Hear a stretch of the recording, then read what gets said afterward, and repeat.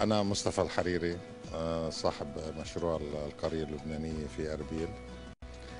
آه، المشروع عبارة عن 3485 وحدة سكنية. بدأنا وضعنا حجر الأساس ب 5 6 2012 واستمرينا في آه، في البناء. ورغم الصعوبات اللي مرقت علينا بحرب داعش بال 2014 إلا إنه بعون الله استطعنا إنه ننجز 70% من المشروع. نحن اليوم يعني من ضمن من من ضمن مشروع القرية اللبنانية عملنا هالفندق. فندق آه، خمس نجوم بقلبه كل الفعاليات من نادي رياضي لمركز آه، تدليك لمسبح على السطح لمطاعم أربع مطاعم في نايت كلاب وغيره. آه، آه، والظروف صعبة لكن نحن الإنسان لما بمر بظروف صعبة أمامه خيارين يا يقفل ويقعد بالبيت يا يواجه الصعوبات.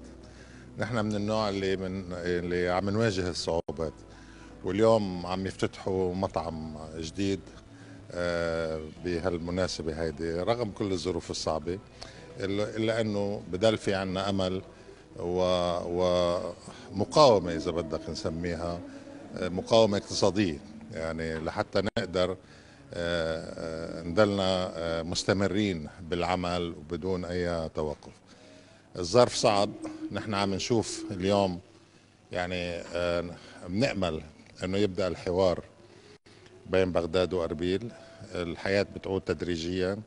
الناس اليوم بعد مرور آه، شهر شهر ونص على الاستفتاء بدأت الناس تعيد تعيد الحياة تدريجيا والثقة والأمل وغيره.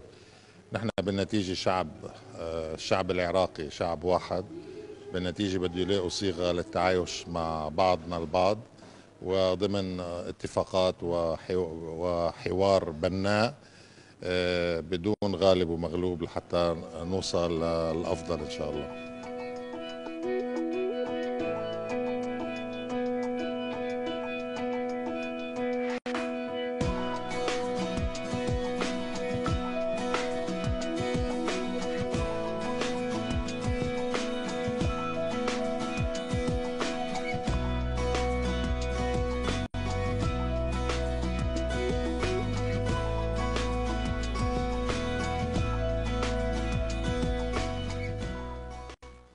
أوكي فندق فندق مسايا أربيل آه تابع لشركة كريستال آه العالمية.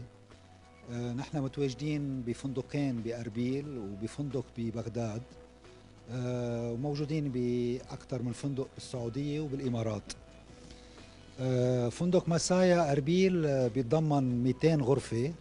منهم 100 غرفة آه موجود فيها مطبخ.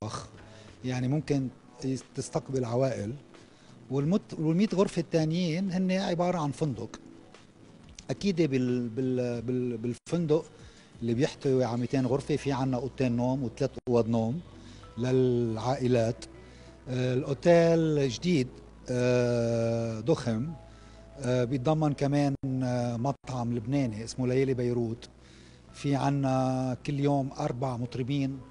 بيطلعوا آه، ابتداء من الساعة 11 في عنا كمان على الطابق الأول اللوت 1 بيشتغل تقريبا ثلاث أيام بالأسبوع وهو اليوم من الأشهر بأربيل. أه وعندنا كمان مطعم الباروك وفي عنا تقريبا ثلاث قاعات اجتماعات بيصير فيها أهم الاجتماعات بأربيل.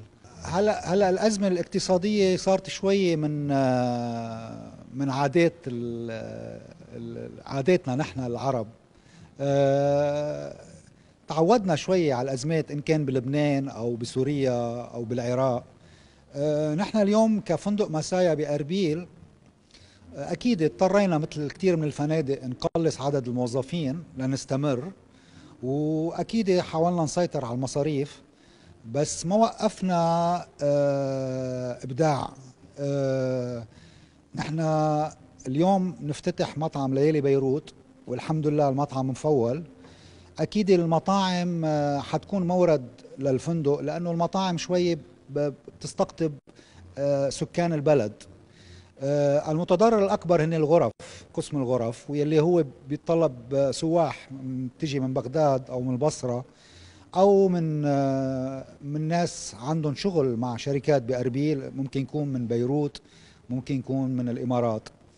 إن شاء الله بترجع آه، بتزبط الأمور وبيرجع المطار بيشتغل آه، كويس وبنقدر نرجع نرجع نسوق الغرف. نحن اليوم تركيزنا كلياته على المطاعم آه، وعلى ال- البزنس يلي هو بيجي وذن ان يعني من قلب البلد.